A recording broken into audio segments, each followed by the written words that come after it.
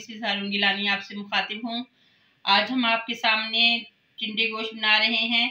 टिंडे गोश्त में गोश्त मुर्गी का इस्तेमाल करेंगे। टिंडे मुर्गी इसका नाम है टिंडे मुर्गी शोरबे वाली। और टिंडे मुर्गी शोरबे वाली बहुत ही टेस्टी बनती है। आपने कभी बनाकर नहीं देखी होगी और इंशाल्लाह आप जब बनाएँगे तो आपको आइंदा हमेशा के लिए शोरबे वाली टिंडे मुर्गी बनाएँगे। भुना हुआ गोश्त तो सब बनाते हैं। शोरबे के साथ मज़ेदार सा शोरबा हो तो बहुत ही मज़ा आता है, जिसमें सादे चावल भी इस्तेमाल कर सकते हैं, रोटी के साथ, ब्रेड के साथ, हर तरीके से खा सकते हैं। तो इन आप बनाएँ और हमें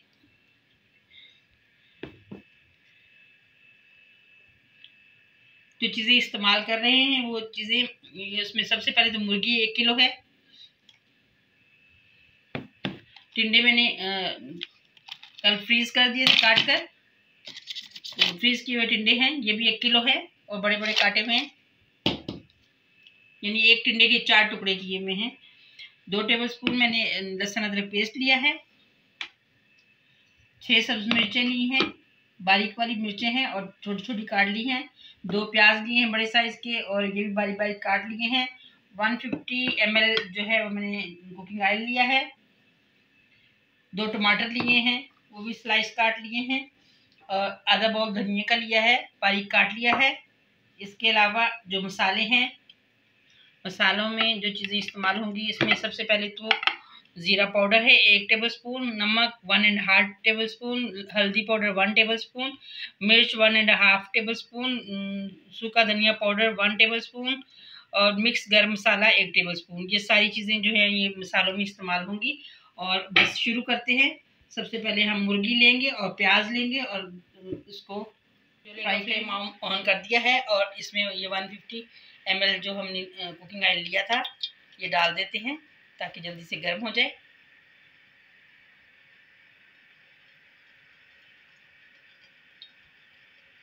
जब तक हमारा ऑयल गर्म होता है, हम इसमें प्याज भी डाल देते हैं ताकि साथ ही फ्राई होने लग जाए। प्याज हमारे फ्राई हो गए, हमें हल्के गोल्डन ब्राउन करने थे, जो कर लिए हैं, और हम लहसुन, अदरक, पेस्ट भी साथ ही डालेंगे, और मुर्गी भी साथ ही इसमें शामिल कर देंगे इसको फ्राई करना है।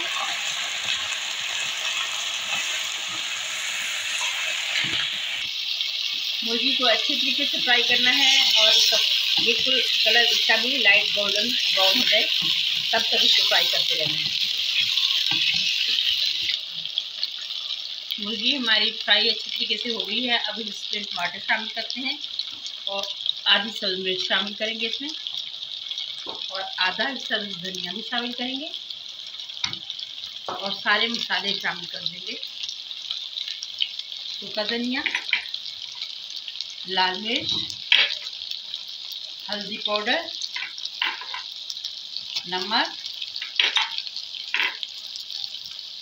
मिक्स गर्म मसाला सफ़ेद जीरा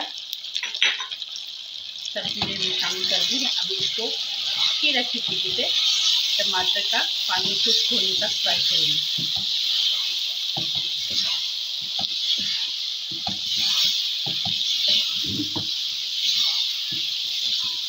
ज़रूरत महसूस हो तो हल्का हल्का पानी का छींटा मारना है इसमें।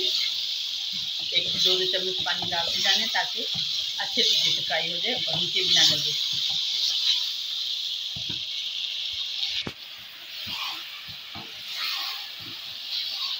टमाटर तकरीबन हमारे मिक्स हो गए हैं अच्छे तरीके से। और अब हमने ये जो टिंडे काट के रखे थे, उनको डाल देंगे क्योंकि ये मैंने फ्रीज किए हुए थे। अब इसको भी थोड़ी देर फ्राई करना है और अच्छे तरीके से मसाला इसको लग जाए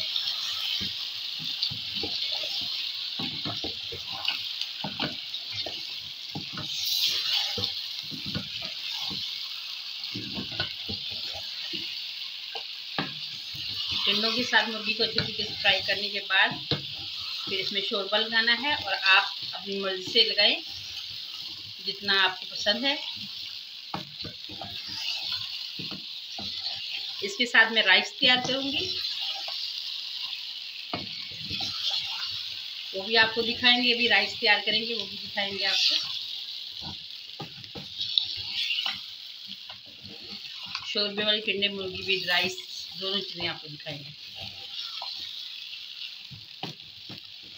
अब इसमें हम पानी शामिल करेंगे। दो कप मैंने पानी इसमें डाला है। वन थाउज़ेंड एम पानी है इसमें।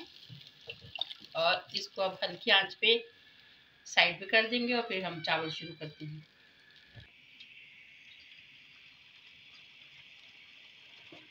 ठंडे मुर्गी का सालन हमारा तैयार हो गया। अब हम थोड़ा सा धनिया और सब्ज मिर्च डालते हैं और फिर इसको उतार कर फिर चावल आपको दिखाते हैं। चावल बनाने लगे हैं और चावल हम धनिया धनिया वाले चावल बना रहे हैं। हरा मसाला डलेगा उसमें, धनिया ज़्यादा सारा डलना है चावलों में और बहुत टेस्टी बनते हैं धनिया वाले चावल। धनिया पुलाव कहते हैं इसको, हरा धनिया पुलाव।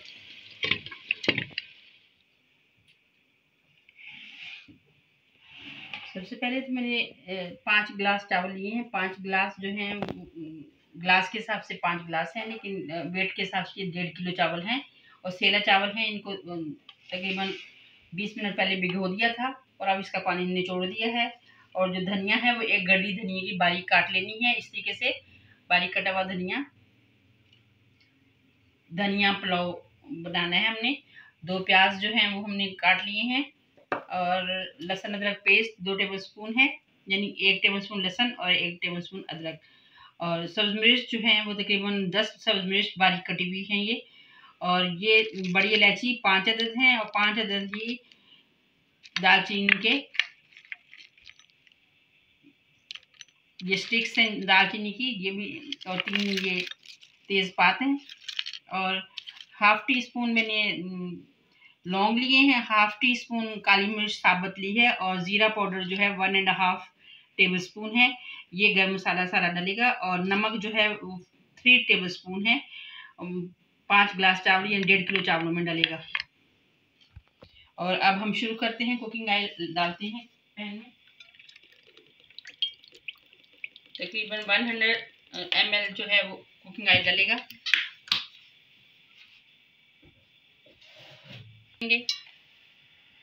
सबसे पहले प्याज डालेंगे फ्राई करेंगे प्याज।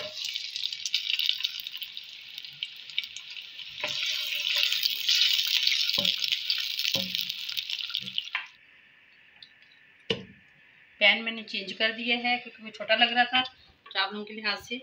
और अब मैं देगची में बना रही हूँ और इसमें अब मैंने लहसुन अदरक पेस्ट डाला है और साथ ही ये गरम मसाला है, इसकी सारी चीज़ें डाल देंगे।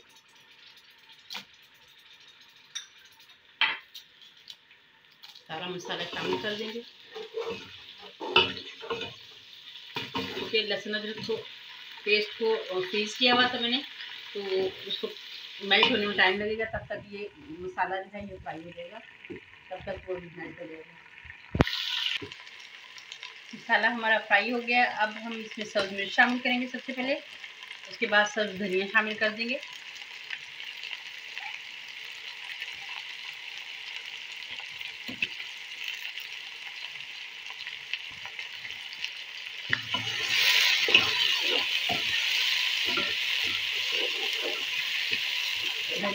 को अच्छी मिक्स करने के बाद फिर इसमें पानी शामिल करेंगे।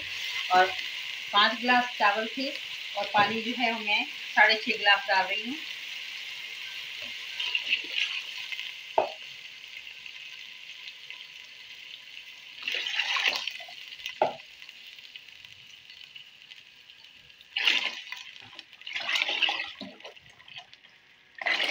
साढ़े छः गिलास पानी हो गया पूरा। और अब हम इसको कवर कर देते हैं। अब नमक शामिल कर देंगे। पानी हमारा बॉईल होने लग गया, अब हम इसमें चावल डालेंगे। चावल हमने डाल दिए हैं। अब हम इसको ज़रा सा हिला के और इसके ऊपर कवर बंद करते हैं टिंडे गोश्त और साथ मैंने हरे मसाले वाले जो हैं और साथ मैंने सर्व करने के लिए पुदीने की चटनी बनाई है और बहुत ही टेस्टी चीज़ें बनी हैं और खाना बहुत ही मज़ेदार है। और आप भी बनाएँ इस तरीके से। और इन आपको भी बहुत मज़ा आएगा और आइंदा आप हमेशा बनाएँगे शोरबे वाला टिंडे गोश्त, टिंडे मुर्गी, टिंडे गोश्त जो भी बनाएँगे इसी तरीके से बनाना है। और इन फिर नई रेसिपी के साथ फिर हाज़िर हो जाएँगे। इजाज़त दीजिए, अल्लाह निगेबान